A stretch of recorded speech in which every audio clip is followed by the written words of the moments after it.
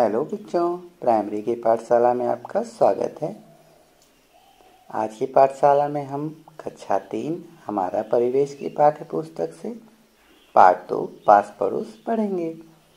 तो बच्चों, आपके घर के आसपास कई परिवार रहते हैं, बहुत सारे घर बने हुए हैं। ये सभी लोग हमारे पड़ोसी कहे जाते हैं। पड़ोस के लोग सिर्फ़ खुशी या त्यौहार में ही साथ नहीं रहते, बल्कि दुख के समय भी एक दूसरे की सहायता करते हैं। तो बच्चों, आसपास अच्छे पड़ोसी होना बहुत ही आवश्यक है। हमें भी अपने पड़ोसियों की मदद करनी चाहिए। ठीक है बच्चों तो आइए इस पाठ को हम पढ़ते हैं और देखते हैं क्या हुआ। बच्चों, आप मेरे साथ साथ अपनी किताब को पढ़िए। अरे, क्या हुआ? काका झोपड़ी से बाहर क्यों भाग रहे हैं? पास खेलते हुए रमन ने विवेक से कहा हाँ देखो, इरफान काका की झोपड़ी तो गिर रही है। अभी तक तो वह ठीक थी। यह कैसे हुआ? वहीं खड़ी राधिका बोली, काका को चोट तो नहीं आई। उनके घर का सामान भी दब गया होगा। चलो चलो, हम सब उनके पास चलते हैं। रमन, विवेक और राधिका भागकर काका की झोपड़ी के पास पहुँचे। तब तक काका के सभी पड़ोसी भी इकट्ठा हो गए थे। पड़ोस की सरला दीदी भी वहाँ पहुँच गईं। दीदी ने कहा, काका, क्या हुआ? इतना घबरा क्यों रहे हैं? इरफान काका ने कहा, अरे, मैं अकेले क्या करूँ? कुछ समझ में नहीं आ रहा है। मेरी झोपड़ी गिर गई है। तुम्हारी काकी और जावेद भी यहाँ नहीं है। सारा सामान दब गया है। कैसे निकालूँगा? कहाँ रहूँगा? बारिश का मौसम भी है। मुझे जल्दी ही सब कुछ संभालना है। इतनी जल्दी में सब कुछ कैसे होगा? इरफान काका अपने पड़ोसियों की सदैव मदद करते हैं। उनको परेशान देखकर सभी चिंतित थे। काका के पास इकट्ठा सभी पड़ोसी बोले आप चिंता न करें काका, आप अकेले नहीं हैं। हम सब आपके साथ हैं। सभी मिलकर काका की झोपड़ी ठीक करने की बात करने लगे। सभी ने मिलकर झोपड़ी में दबे सामान को बाहर निकाला। तनवीर चाचा ने कहा, मेरे पास सूखे बाँस हैं, मैं ले आता हूँ।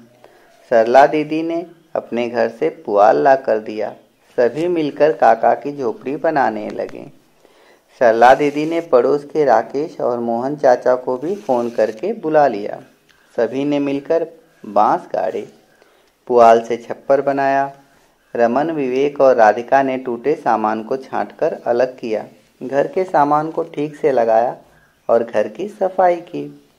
रमन ने पूछा, अरे, यह कूड़ा कचरा कहाँ जा, रखा जाए? सरला दीदी ने कहा, इसे घूर गड्ढे में डाल आओ। रमन ने सारा कूड़ा कचरा घूर गड्ढे में डाल दिया। यह काम हो ही रहा था, तभी विवेक के पापा पेड़ा और पानी लेकर आए। सभी ने पेड़े खाए और पानी पिया। विवेक ने इरफान काका की चारपाई नई झोपड़ी में रखी। राधिका ने अपने घर से लाकर साफ़ चादर बिछाई। काका उस पर बैठे। उनकी आँखों से आँसू छलक रहे थे।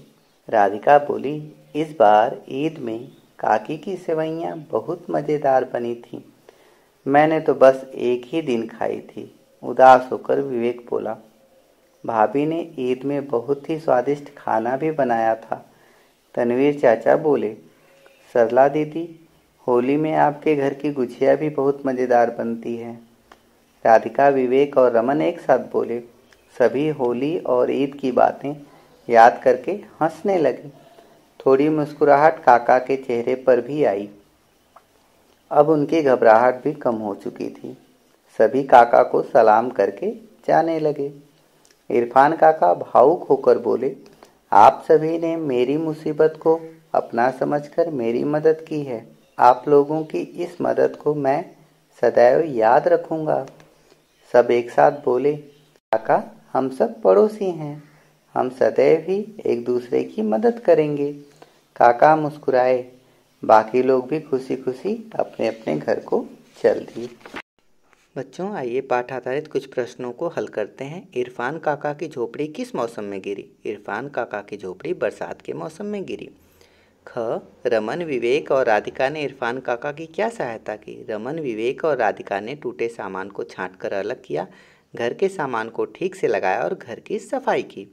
झोपड़ी बनाने के लिए बाँस और पुआल किसने दिया था? झोपड़ी बनाने के लिए बाँस तनवीर चाचा ने और पुआल सरला दीदी ने दिया। पड़ोसी किसे कहते हैं? हमारे घर के आसपास रहने वाले लोगों को पड़ोसी कहा जाता है। पड़ोसी सदैव एक दूसरे की मदद करते हैं। बच्चों सेकंड जोड़े बनाना है। आप इसे देखकर जोड़े बना लीजिएगा। तीसरा है, सही कथन के सामने सही और गलत कथन के सामने गलत का निशान लगाना है। इसमें जो अच्छी आदतें हैं, उनके सामने आप सही का निशान लगाएँगे और जो गलत आदतें हैं, उनके सामने आप गलत का निशान लगाएँगे। आगे देखिए, पड़ोस में बहुत गंदगी है, इसकी सफ़ाई के लिए क्या करेंगे? बच्चों, पड़ोसियों के साथ मिलकर आप साफ़ सफ़ाई करेंगे। यदि कोई मित्र सहारा लेकर चलता है तो क्या करेंगे? हम ऐसा खेल खेलेंगे जिसमें वह भी खेल सके। बच्चों पूछा है, तुम्हारे पास पड़ोस में कौन कौन रहता है? तुम अपने पड़ोसियों के साथ कौन कौन से कार्य मिलजुल कर करते हो? इसे आप अपने से लिखिए। नेक्स्ट है, कविता, होली और ईद पर। आप इसे पढ़िए और अपने मनपसंद त्यौहार पर एक कविता लिखिए। बच्चों, ये पाठ पूर्ण हुआ। Thank you.